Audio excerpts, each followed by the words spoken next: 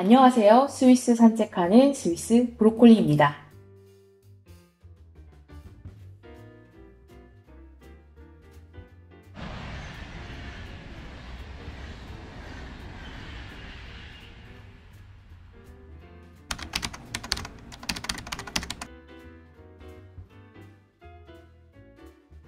스위스 연방철도에서만 운영되는 기차역만 해도 약 600개 정도고요. 다른 사기업 철도들까지 합치면은 스위스에는 2,000개가 넘는 기차역과 정류장이 이 작은 스위스에 있습니다. 스위스의 인구는 서울 인구수보다도 훨씬 적고요. 면적은 서울보다 약 7배 정도 큰 정도입니다. 그렇다 보니 그 많은 기차역들은 역무원 혹은 역장이 없는 무인역으로도 운영되는 곳이 꽤 많은데요. 바로 이 마이엔펠트도 그 무인역 중의 하나입니다. 마이엔펠트라는 이 동네는 약 3,000명이 사는 작은 동네예요. 그런데 1997년부터는 하이디도르프라는 이름으로 하이디를 보고 자란 어른들 그리고 동화로 하이디를 만났던 어린이들을 위해 이 하이디 마을을 만들게 되었습니다.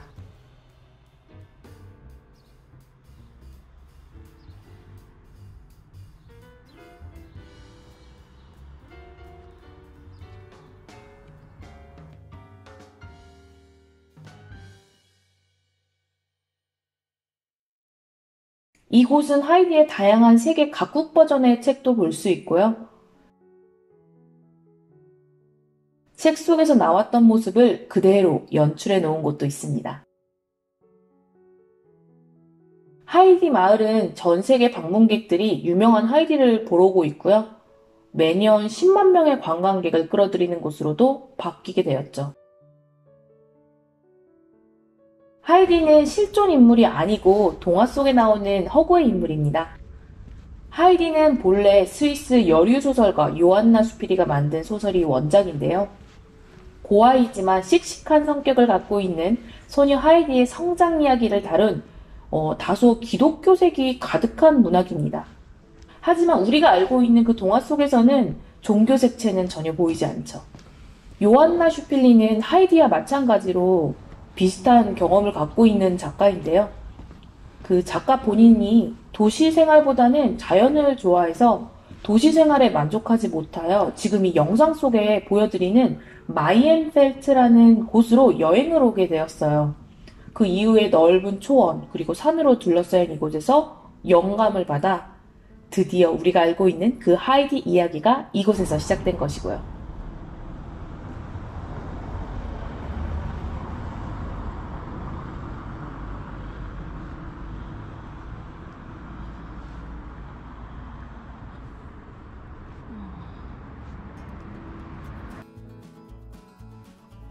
하이디의 이야기는 이미 19세기 말에 전 세계적으로 유명해졌습니다.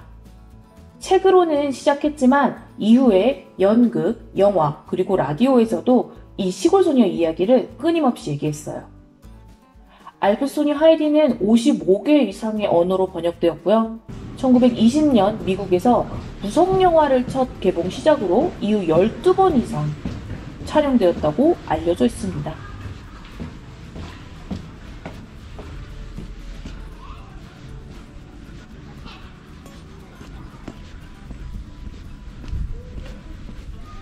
스위스에서는 하이디 어린이를 뽑고 있고요. 가장 최근인 경우는 2015년에 하이디 영화도 찍었죠.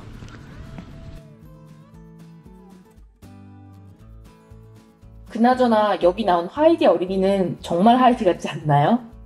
되게 왈가닥하고요. 장난 가득한 얼굴이 정말 캐스팅 잘했다는 생각이 듭니다.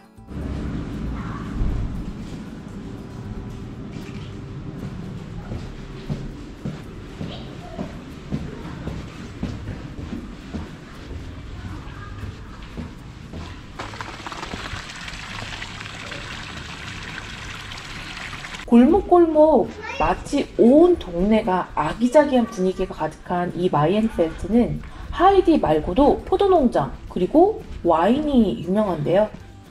뭐 5대째, 6대째 내려오는 사업들 포도나무 심기부터 그 와인에 붙인 라벨링까지 모든 작업을 각 농장에서 본인의 이름을 걸고 하는 것 보면 얼마나 자부심이 있을까 하는 생각이 들더라고요. 마이엔펠트 중심에 있는 이곳은 포도원에 살충제를 쓰지 않고 뭐 제초제도 5년 동안 사용하지 않는다는 장점을 내세우는 가게도 볼 수 있었습니다.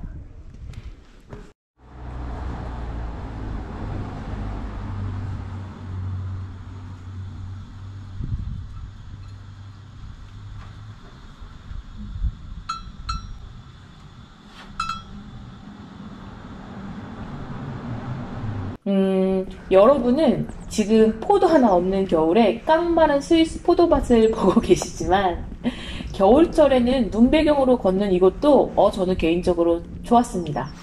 물론 여러분들께 이곳을 다시 소개한다면은 아마 9월에 오시라고 하면 제일 좋을 것 같아요. 이 영상을 보고 계시는 분들 혹시 와인 좋아하시나요? 마이엔펠트 양조장에서 그 갓 병에 담은 와인 그리고 오크통에서 숙성된 와인을 볼 수 있는 그 open cellar도 5월에서 10월쯤 음, 그쯤 경험하실 수가 있으시고요. 포도 수확 시기도 한 9월 같은 경우에는 마을 곳곳의 와이너리에서 와인 축제가 열려서 참여하실 수도 있어요. 게다가 한국 분들이 선호하는 화이트 와인의 품종인 리슬링이라든지 샤르도네도 이곳에서 양조가 되고 있거든요. 그래서 스위스산 와인을 맛보실 기회가 되신다면 꼭 한번 맛보셨으면 좋겠습니다.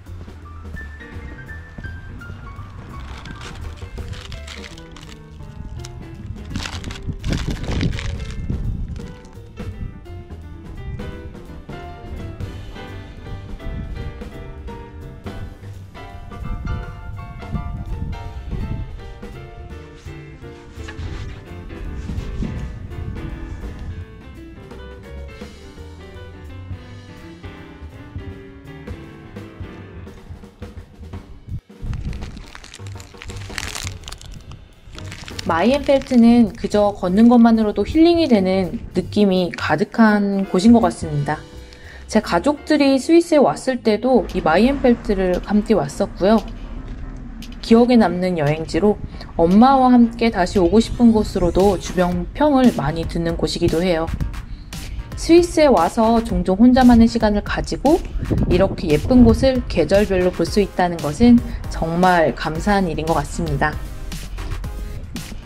단 여름철엔 하이디 마을이 오픈을 해서 좀 돌아볼 수가 있지만 겨울철에는 운영하지 않기 때문에 저는 마이엔펠트 동네만 아주 천천히 아주 크게 2시간 정도 돌아보았는데요. 따뜻한 햇살 그리고 새 지저귀는 소리 들으며 걸으니 꽤 힐링이 되는 시간이었습니다. 마이엔펠트에서 기차역으로 한 정거장 정도 떨어져 있는 곳에 란드콰르트라는 아울렛으로 제가 좀 향해 봤어요. 여기는 다양한 브랜드가 있는 아울렛입니다. 물론 처음 가는 거는 아니고요. 자주 여러 번 가봤습니다. 제가 좀 좋아하는 곳이기도 해요. 주말에는 사람이 정말 많지만 평일에 가면 아주 편하게 쇼핑을 할 수 있을 정도로 사람이 많지 않아 저는 좋습니다. 연말에는 곳곳에서 세일을 하기 때문에 기쁜 마음으로 향해 본 것도 있고요. 이곳에서는 패션 스포츠나 뭐 아웃도어, 라이프 스타일 분야의 프리미엄 브랜드가 있고요. 주 7일 오픈하기 때문에 스위스에서 일요일날 쇼핑이 유일하게 가능한 곳이기도 합니다. 하이디의 마을, 마이엔펠트와 그리고 제가 좋아하는 아울렛까지 오늘 스위스 브로콜리와 함께한 걷기여행 너무 많이 했나요? 요즘 제법 눈에 띄게 많아지는 구독자분들 덕에 영상 편집에 굉장한 힘이 되어 얼마나 기쁜지 모르겠습니다. 감사합니다. 시청해 주셔서 정말 정말 감사하고요. 다음에 또 만나요. 안녕.